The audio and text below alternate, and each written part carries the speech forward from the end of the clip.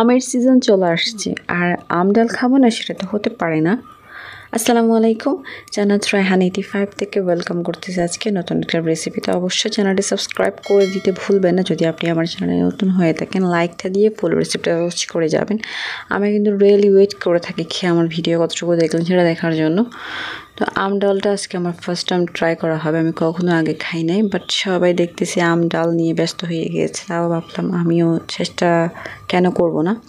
তো এখানে আমি পঞ্চাশ গ্রামের মতো মসুর ডাল আগে থেকে ভালো করে ভিজিয়ে রাখছিলাম। এরপর ফুটিয়ে এগুলাকে ম্যাশ করে নিচ্ছি আর কি। যেভাবে ডালটা রান্না করা হয় সেমভাবেই করতে হবে। জাস্ট লাস্টে গিয়ে একটু ডিফারেন্স আছে যেটা দেখে আমার মনে হলো।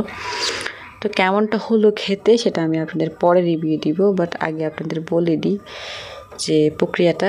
তো এই তো ডালটাও ফুটিয়ে নেওয়া হয়ে গিয়েছে। আমি অন্য একটা বাটিতে ট্রান্সফার করে নিয়েছি, যেহেতু আমি ওই বাটিতে ফুরন দিব। এরপর একটা বড় সাইজের আমের এক ফালে আমি চিকন করে টুকরো করে নিয়েছি। যেহেতু ডাল, সেক্ষেত্রে পেঁয়াজ একটু কম লাগবে, রসুন বাড়তি লাগবে। আমি ছোটো কোয়া চার কোয়া রসুন নিয়েছি। এরপর আমি চলে যাব একদম বাগার দিতে।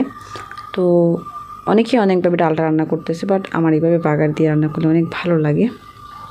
আগে বলে দিই, তেলটা ছিল ফিল্টার করা মানে অল্প একটু তেল বেঁচে গিয়েছিল ভাজাভুজির পর ওটা দিয়ে করে নিচ্ছি। আর পুরনে অবশ্যই আমি গোটা পাঁচ ফোড়নগুলো ইউজ করি, ডালের ক্ষেত্রে আমার অনেক ভালো লাগে। ইদানিং আমি অনেক তরকারিতে এগুলো খাচ্ছি ট্রাই করতে পারেন, কামড়ে পড়লে বেশ মন্দ লাগে না। যারা কালি কালিজিরা খেতে পারেন, তাদের জন্য কিন্তু এই পাঁচ ফোড়নটা বেস্ট তো আমি বেশি করে